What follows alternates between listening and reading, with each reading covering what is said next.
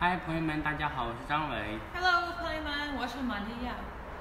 前一阵子，在我们做努力做好疫情防控的时候，不免会有一些比较豪横的外国人，不配合隔离，不做好防护，也不遵守呃法律法规，然后破坏秩序。对于这一类的外国人呢，我们可以称呼为就是洋垃圾。洋垃圾？所以呢，我们要坚决抵制这一类人。那我今天想问一下，同样作为外国人的玛利亚，她是如何看待这个问题？好，老婆，你知道上海的垃圾分类吗？对啊，上海垃圾分类我知道，有什么有干垃圾，有湿垃圾、湿垃圾。湿垃圾，然后还有可回收回收垃圾，还有有害垃圾。好，回答正确。那你有听说过洋垃圾吗？洋垃圾没有，没听过也没看过。洋垃圾，洋是指洋人，洋人呢就是指外国人，然后洋呃洋人他还分东洋人和西洋人，啊，洋垃圾呢就是指就是外国垃圾人的意思，这样可以说吗？对呀、我的妈呀！呃，所以洋垃圾可以理解为就是外国垃圾人，比如在中国做一些坏事，不遵守中国的法律法规，然后搞破坏，呃，嗯或者骗一些中国小姑娘呀之类的。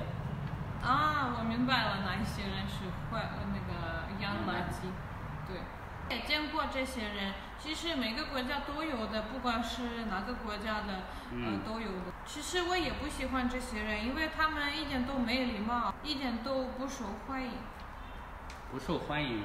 不受欢迎。嗯就比如你去呃别人的家当客人，然后呃你比如说进去房间嗯不穿拖鞋，嗯直接就去穿那个外面的鞋子，还有乱动别人家里的东西。嗯他说，比如说这个不好，那个不好，非常没礼貌，就是想干嘛就干嘛。别人可能跟你说，但是你不管，就是继续做。所以我就觉得这些人就是不好人，就是可以叫他们垃圾人。垃圾人。嗯好，那你觉得洋垃圾它是属于什么垃圾呢？嗯，当然是有害垃圾，因为对别人不好，伤害了别人。看来你已经非常明白了，很嗯棒。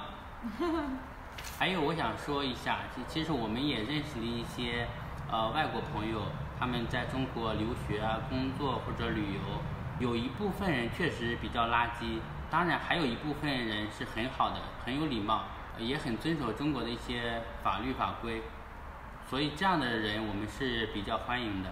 还有，我觉得我们中国人如果是出出国旅游也好，留学或者说工作，也尽量去遵守当地的一些规则、规章制度，不要在外国人的眼中做洋垃圾，也不要给我们的祖国丢人，对不对？